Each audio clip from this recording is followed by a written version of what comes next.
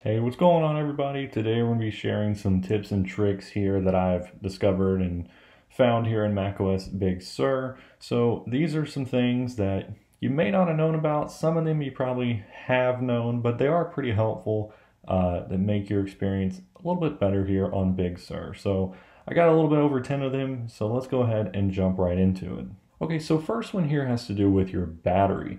So you can now override the battery health management feature. So right now, I can't show it to you because my battery's at 100%, but if you take your computer on and off the charger frequently, you may notice that sometimes it's not charging all the way up to full.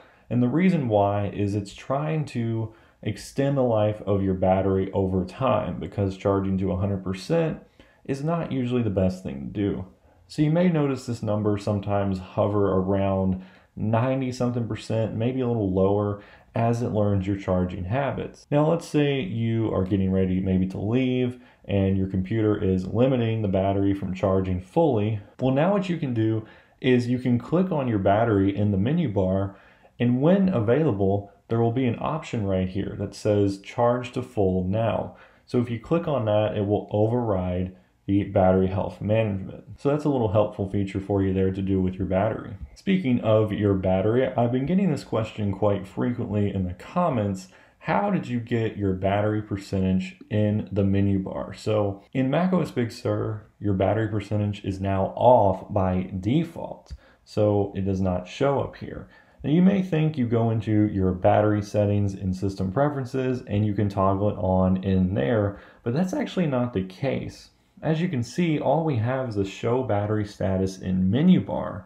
And if we click on that, well, that takes our battery completely out. So we definitely don't want that. Instead, what you have to do in system preferences is go to the brand new dock and menu bar section, and then you can scroll down over here to battery. And when you do that, there is the option to show percentage. So as you can see, uncheck it, it's gone, and we can check it again, and there it is. So if you like to see your percentage like I do, then you have to go enable it in the dock and menu bar settings. While we're in this new dock and menu bar section here, let's talk a little bit about the control center. So the control center is a pretty important thing here now in Mac OS. As you can see, it allows you to access some of your quick settings that you use most frequently. So your Wi-Fi, Bluetooth, etc. Well, you can now take these out of your control center and put them into the menu bar. So if you just hold down on one of these, let's do screen mirroring, and you can drag it up to the menu bar wherever you want it to be.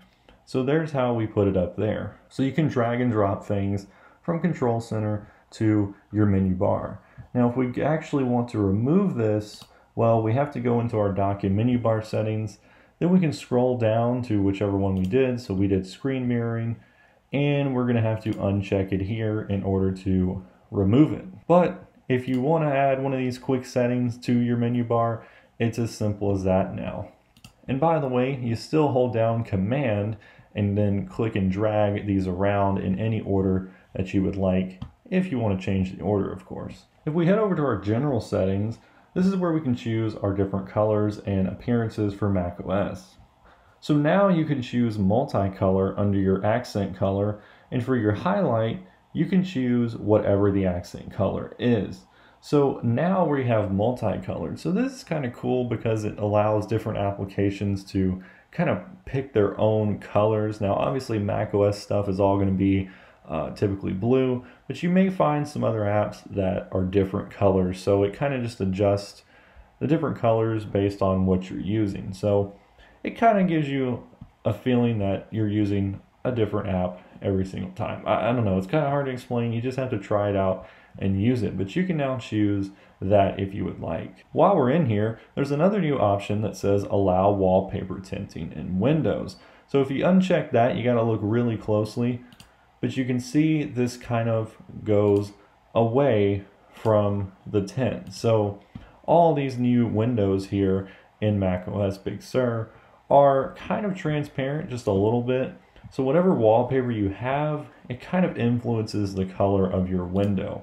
So you can turn that off and just have your typical white uh, window here. uh, if you do not want that. But yeah, that's another new option here in your general settings. If you go into your sound settings, you'll find a new option for your startup sound. So it says play sound on startup. So everybody knows in Catalina, they completely got rid of the startup sound. There was a little workaround. You could actually enable it through the terminal, but now you actually have a more simpler way to turn it on and off with this checkbox right here. So no longer do you have to actually put that terminal command in. You can just go change it here in your sound settings. If we head back up into our menu bar, there's another new thing that you can add, and it's actually a now playing little button here. So if I click on this, you're gonna see whatever music was recently playing and from what source. So I use Spotify, so you can see that this is a song that was last playing.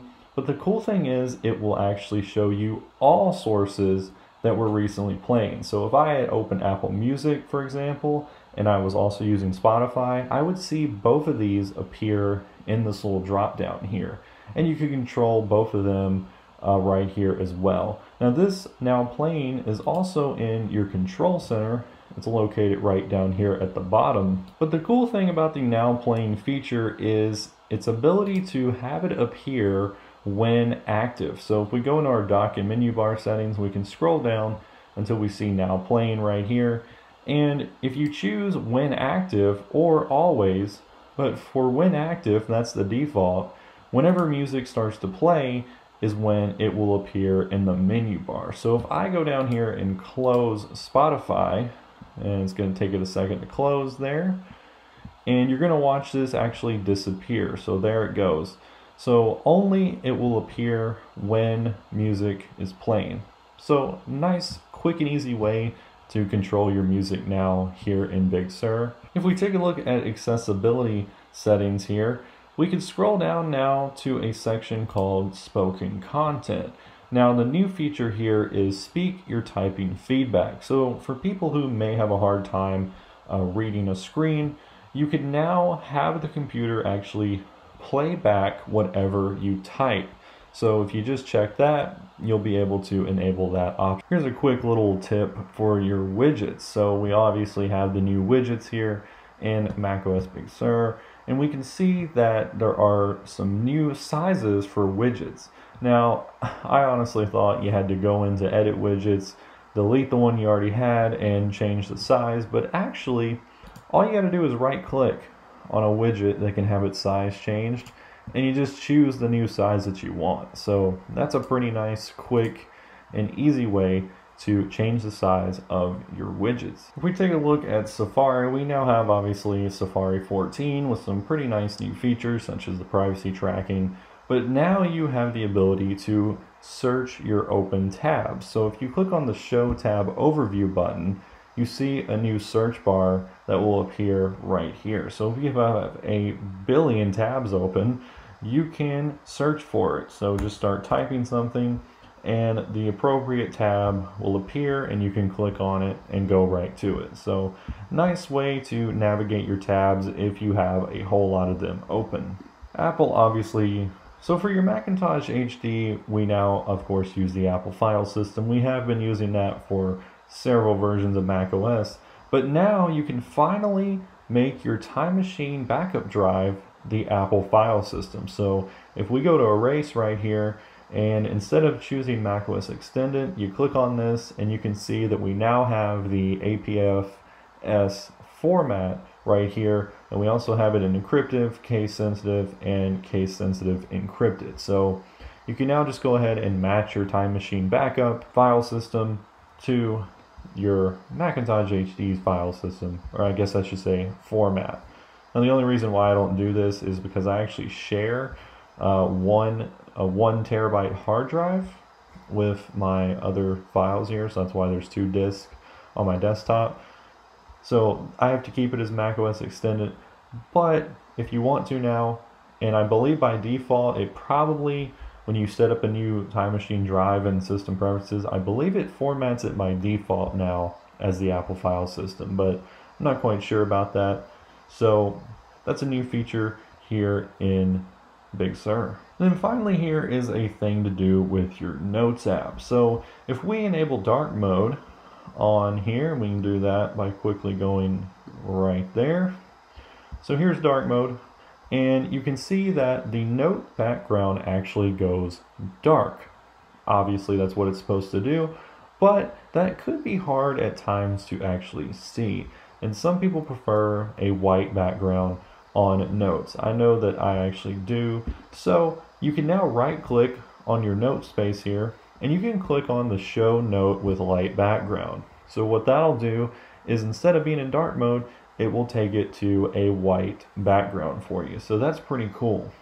And if you want to uh, leave it like that and it goes out of dark mode, I'll show you. go out of dark mode, it all goes back to normal. But if we go back into dark, it leaves the setting uh, that you last set here. So it's individual notes. You can't just change them all at once, but pretty cool feature there. And guys, that's all the tips and tricks I got for you today. I plan on making some more videos like this. I'm trying to see if maybe this is something that you all might be interested in. So let me know if you want to see some other like top things in macOS or top things somewhere else or tips and tricks, videos like that. But yeah, that's all I got for you today. Hope these helped you out. Hopefully you may not have known all of them. Uh, some of them are kind of hidden, some of them are not, but I think they're pretty helpful tips. But anyways, guys, that's all I got for you today. Thanks for watching as always, and I'll catch you on the next video.